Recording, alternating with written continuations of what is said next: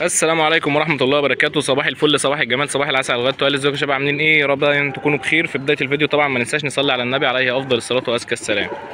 طبعا زي ما أنتم شايفين كده مفيش نظافة أكتر من كده. والحمام أهو طاير وما شاء الله كده ربنا يبارك. ومنضفين اهو من قبل ما نصور كمان تاني علشان الناس اللي بتقول ان إحنا مهملين في في الغيه طبعا لسه راجع من الشغل رجعت بدري الحمد لله فقلت اما اطلع الحق قبل الدنيا ما تضلم واصور لكم فيديو كده وإحنا مع بعضينا.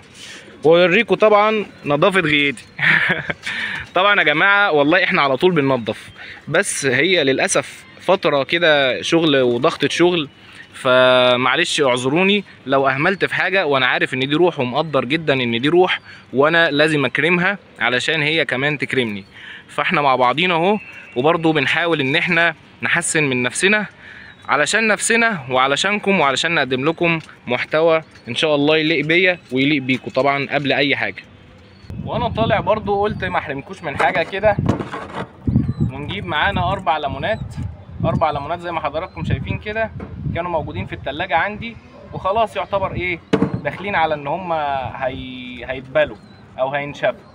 فإحنا قلنا بدل ما ينشفوا ويترموا إحنا ممكن ناخدهم ونقطعهم ونحطهم على المية للحمام. هتبقى مفيدة جدا وحلوة جدا جدا للحمام. ده يا جماعة مضاد حيوي طبيعي ومطهر طبيعي هيطهر معدة الطائر اللي عندك والحصيلة بتاعته وهيخليه بص يدعي لك. فطبعا ديت عندك حاجة زي كده ممكن كل فترة كده تروح حاططها للحمام على المية. طبعا السكينة دي أصلا مش بتاعة تقطيع إحنا مطلعينها بننضف بيها بس عادي هنقطع بيها كده. الليمون علشان نحطه للحمام على المية.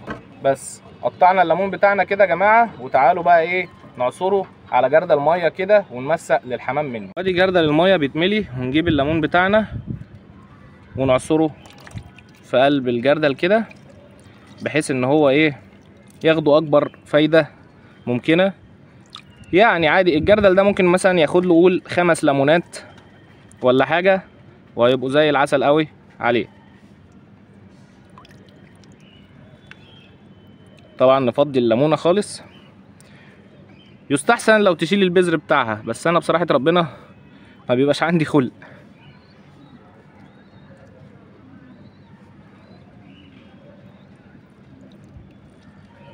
طبعا اعذروني يا جماعة أنا بصور بإيد وبملى الجردل وبعصر الليمون بالإيد التانية.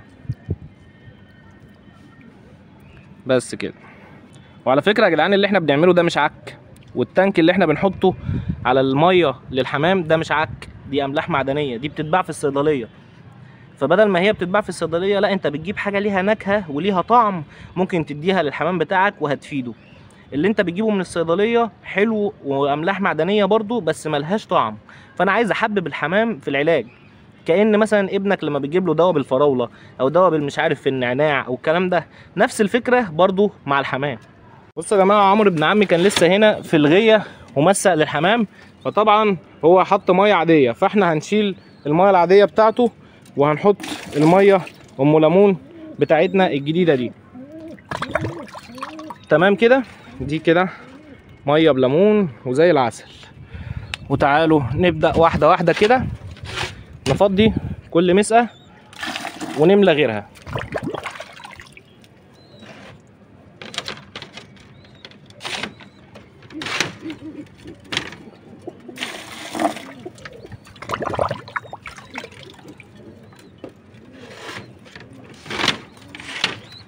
طبعا القص الجمال دول الرواحنا على فكرة يا جماعة القص دول بيجيبوا زغاليل دماغها حلوة قوي.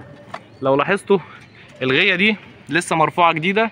فطبعا كان أول لما رفع الغية كل حد هنا آه، اداله مثلا اللي عنده زغاليل اداله اللي عنده شبابات اداله علشان يبتدي إيه كزي بيبارك له يعني على الغية الجديدة.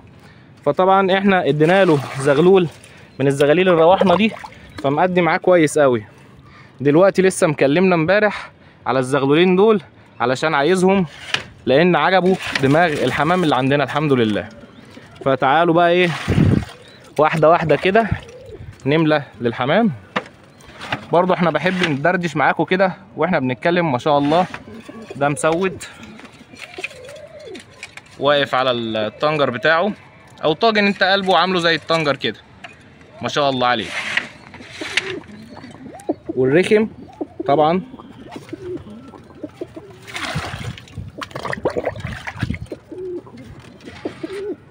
فرد الحمام ده عجوز.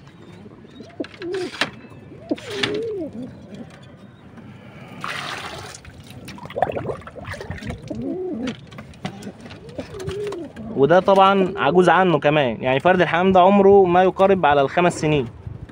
بس ما شاء الله وش وش شباب.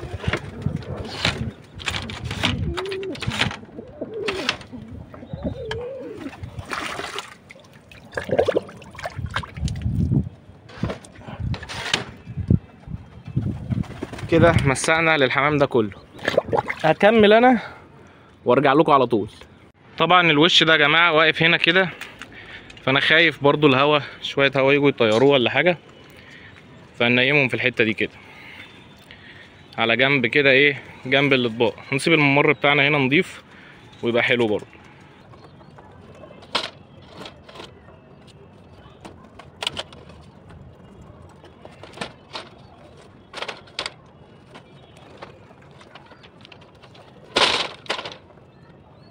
طبعا أنا حطيت الخفاف الأول وبعد كده حطيت عليهم الوش الكبير بحيث يتقلهم مفيش أي شوية هوا يجوا يطيروه هنا طبعا يا جماعة القص دوت كان محصي وطلع زغلولين وتحتيه زغلول واحد أهو. طب الزغلول التاني راح فين؟ هما مطلعين الزغلولين عنبره ما شاء الله. فزي الأم كده بالظبط.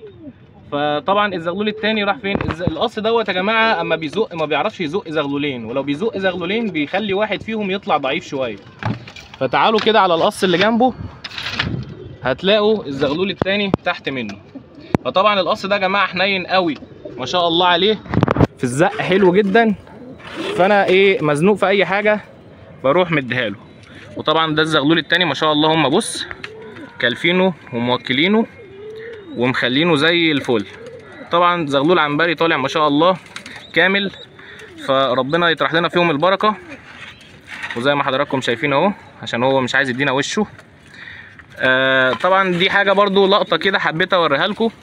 إن طبعا لو أنت اتزنقت في حاجة زي كده بيكون عندك قص زي دول بتبتدي إن أنت تشغل تحت منه على طول ياكل لك وزي ما حضراتكم شايفين الهوا شغال والمغربية دخلت علينا والحمام واقف على العرق.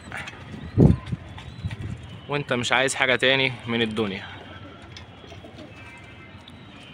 بس والدنيا نظيفة اهي. أنا بشكر كل اللي انتقدني علشان أنا دلوقتي مرتاح نفسيا وهي الدنيا نظيفة. فشكرا جدا ليكم. بس ما تنسوناش في دعواتكم دي حلقة خفيفة كده. وما تنساش تعمل لايك وتشترك في القناة لو أنت لسه ما اشتركتش. والسلام عليكم ورحمة الله وبركاته.